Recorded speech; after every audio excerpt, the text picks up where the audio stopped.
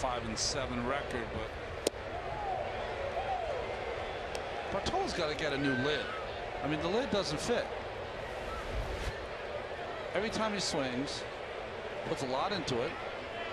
I think the problem is how far he's trying to reach from his position in the batter's Yeah. box. I mean, not, you usually don't get a lot of cheers for a foul ball, but Bartolo does. Well, he's already hit one fair ball today. Grounded out to third base. He's very amused by the whole thing. And hits a tapper back to Morris. And again, Bartolo carries the bat with him.